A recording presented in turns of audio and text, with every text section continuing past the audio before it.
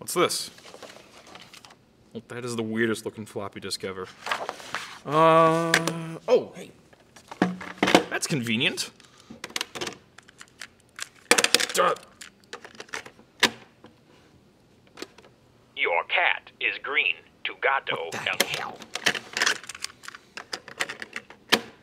Good morning, Krazy Ken. You need to steal the iMac Pro from Jony Ive's White Room. This message will self-destruct in three, two, Whew. one. Yeah.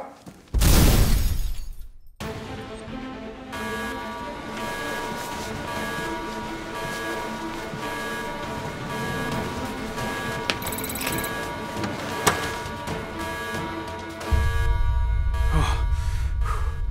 Where am I? Is this it?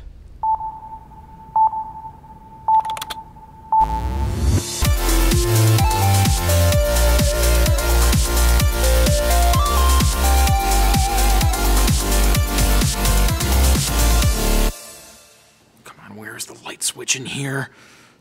Oh, there it is. So, as you can see, ladies and gentlemen, I have infiltrated the hidden fortress of Jonathan Ive and entered into his white room of secrets.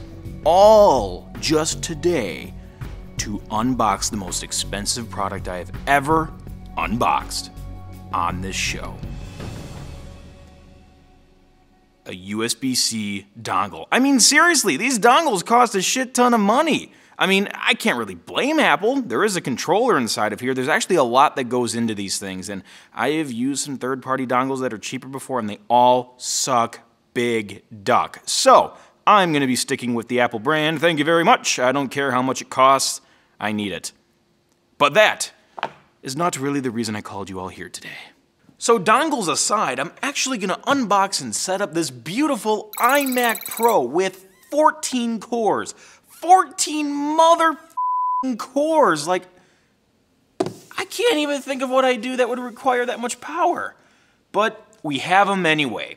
So 14 cores, Xeon, 128 gigabytes of RAM, the Vega chips for the GPU, all inside a convenient, super easy to open and upgrade package. You'll see the humor in that later. All right. One thing I like about Apple is they really make simple box designs. Unlike some other ones I've opened earlier, which require like a blowtorch, Apple actually makes their packaging really beautiful and really easy to open and environmentally friendly. So, IPA, they're thinking about you. Anywho, let's flip this open. And it comes down the other way. Very anticlimactic. I'm gonna flip this bitch around. Boy, what a great idea it was to film this on a tablecloth. It's so easy to work with. Anywho, dun dun, bum bum bum bum bum bum. Space Odyssey. That's the screen. Beautiful resolution. This looks like our little accessory box. Oh, just slides right out. Boom, black power cord. When Apple does black stuff, it's always special. That was it. Oh, it was it was literally just for the power cord. Okay, we'll just set that right there. Anyone want some toast? Just pops right out of the. Oh, sh- well. All right, we know how durable that little tag is now. We we learned that. Um, yeah, that that was not good. I I'm sure it's not broken, but oh, what a great start. Uh, anyway, this I'm really excited for because this is most likely, judging by the shape, the exclusive space gray wireless Magic Keyboard and Mouse, which only comes with the iMac Pro or on eBay for like hundreds of dollars, probably thousands of dollars. Do a slide out like that. Ooh, that looks pretty cool. Oh, oh. Oh, you can get high off a new Apple product. It just smells like fresh science. Like, look at that. Unwrap it. Dude. This is the shit. I'm not a huge fan of numeric keypads, honestly, but man, this looks great. And it's thin. All space gray. It'd be cool if it was backlit, but I'm typically working in a lit environment. Anyway, very freaking nice. That looks good. And let us not forget the Magic Mouse 2 Space Gray in its own little space gray little pouch. Dude, lots of cool videos are gonna be cut with this bad boy. Remember when Steve Jobs introduced the Puck mouse and he said this is the coolest mouse on the planet? This is the coolest mouse on the planet. And it won't give you carpal tunnel syndrome like the other one did. I mean, the puck shape. Who thought of that idea? Yeah, this is pretty baller. This is pretty freaking awesome. Look at that. They even give you a lightning cable that's black to charge the black accessories. Now, if only they would ship more uh, black Thunderbolt cables, that'd be great. But yeah, included lightning. Awesome. Got another little package. The iMac Pro. Ooh, black Apple stickers. Hello. Have they done that before? I feel like they have. Um, ooh, yeah, that's, you see the white ones everywhere. I got black ones now. Oh, freaking yeah. And of course, a cleaning cloth, which is always black. That was already black to begin with. I'm trying to determine how to approach this unboxing without shattering everything in sight. Oh, yeah. Oh, that's, that feels good. Just gonna carefully set down the almost $10,000 computer. Okay. Let's go. Make way for the star of the show. I'm just admiring this beautiful aluminium, the black aluminium. And uh, yeah, to go with it, they have this like darker wrapper on it too, which is a nice little touch. Man, this thing just feels amazing. Like there's so much horsepower with a 5K display packed into something that's so thin and just tilts with no effort. Let's uh, pop the cherry and unwrap it like a little Christmas present, a little $10,000 Christmas present. I'm sorry, I'm just like a space gray addict. It's like a drug. And one, two, three, boom! There it is, the beautiful iMac Pro with wrap on the front. Yes, let's uh, remove that. Okay, I just want to say, I've said this before on Krazy Ken. Peeling this protective plastic off of new technology is like the best feeling in the world. And I'm about to do it with the most expensive gizmo I've ever touched. So I'm going to savor this. This might be an hour long sequence, and I'm going to disable the fast forward button so you can't skip. You're just going to sit there and watch me unpeel this for an hour. Oh, this is better than what I've been told sex feels like. Oh, gosh.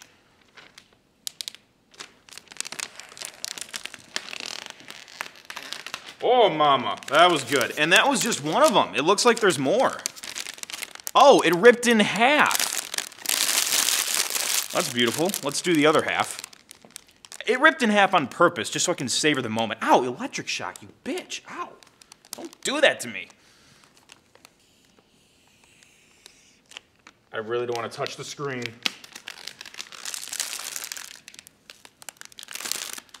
And there's even more to peel off. They had that on the apple on the back. Keep that shiny. This is just unfreaking believably beautiful. It really is like a statue or like a modern piece of art on your desk. Like, I don't even want to touch it. This is the most beautiful, finely crafted computer I've ever seen. Seriously. Let's take a look at the ports. Well, we have a headphone jack, which is great. That didn't get removed. SD card, Four USB 3s, I'm guessing those are 3 Type A, and then we have C, which is also Thunderbolt 3, which is really awesome because I'm also going to be using a Thunderbolt 3 RAID system with this, and our Ethernet. So yeah, lots of good ports on here and some backwards compatibility, which is great. And in the uh, central hole there is the power. And on the foot, we have even more awesome wrapping to pull off and savor those moments of peeling that stuff. Oh, it's so much fun. so I'm gonna save that for later. Mmm, it still smells like fresh apple. All right, we are all plugged in. What do you say? Give it a boot up? Next time on Krazy Ken's Tech Misadventures. Just kidding. I wouldn't make you wait for a part two just to see the thing turn on. That would be a dickish marketing move, right? There's no way I'd do that. Promise. Now, before I boot it up, I have a question for all of you. So, personally, I'm a fan of darker things, dark themes in software, black products. Even my iPhone is freaking, you know, jet black. I held out for that one and spent the extra money to get the upsell. But, like, what is it? What do you think it is about black things? Like, exclusivity aside, what is it about darker products that a lot of us gravitate toward. I know not everybody likes the black stuff, but I know many do. So what is it? I'm not even quite sure. What I will say about this though is that the space gray chassis kind of blends better with the screen and the bezel, making it look more like a unified shape, and the way the light reacts with the contours is just so freaking beautiful, and I love it. But I'm just wondering, what do you guys think? What is it about black things, like phones, computers, software skins, you know, that makes us go crazy? Anyway, here we go. The first boot of the 14 core whore, that was for you, Ada Blasi, iMac Pro. Pro.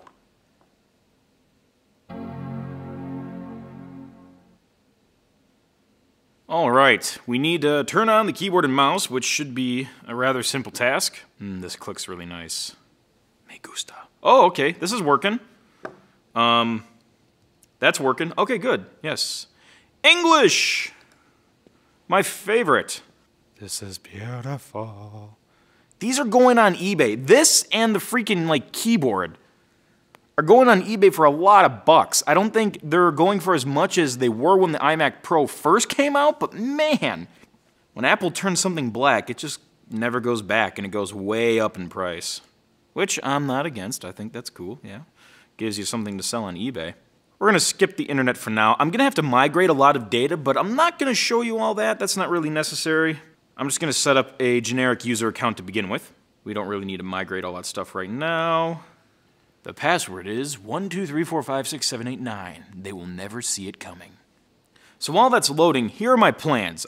What I really want to do is test out the speakers on this thing because they probably sound amazing. But the other thing that I might save for a little bit later is I want to do a speed test. I want to see how fast this thing really is, so stick around for that.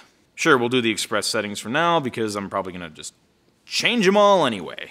Look at that 14 core performance. It really shines right here. Look at how well that graphic rendered. The Vega really drives those pixels. Dun dun dun, 5K. Beautiful 5K screen. Let's see what we got in this bad boy. I say bad boy a lot. Is that just a thing? I don't know. We have a 2.5 gigahertz Intel Xeon W 128 gigs of RAM, and a Radeon Pro Vega 64 with 16 gigs of video memory. This is the fastest computer I've ever touched. Number of cores, 14. Right, so it is a 14 core system with 128 gigs of RAM, two freaking terabytes of super fast storage. That is amazing. All right.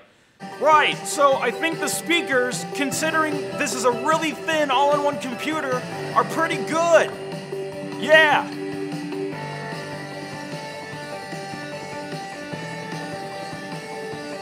And for a final personal touch,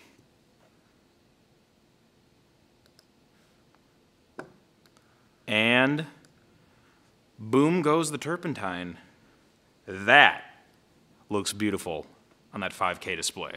Now, before I say goodbye to all of you, there is one thing left to do.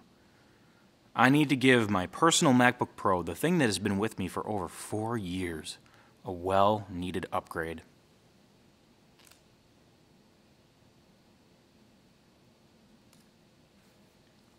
It is now the MacBook Pro Pro. You know, as much as I love my photography, I think it's only fitting to show the ink cloud wallpaper because that's kind of the image that this computer is marketed with. So anyway, awesome start. Now, is this thing really as fast as people say? That's what I'm going to test on a future Krazy Ken episode, so stick around for that. But, beautiful computer, thanks for watching, and there's more to come with this iMac Pro. Catch the crazy and pass it on.